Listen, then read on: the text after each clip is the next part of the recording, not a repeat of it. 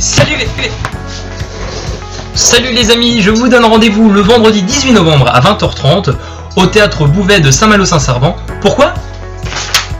Pour le spectacle Les Talons du Cœur avec Bruno Rodriguez, c'est un magicien, il va vous épater. Enzo Malicieux, c'est un magicien, il va vous étonner.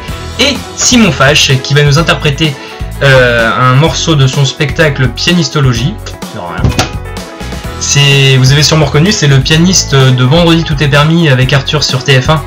Et ce spectacle est vraiment euh, à voir, je vous le conseille, puisque euh, c'est très important, c'est au profit de l'association Je veux du soleil qui œuvre pour les enfants malades. Et donc je vous y attends très nombreux. Euh, voilà, faites passer, faites tourner. Et à très vite. Bisous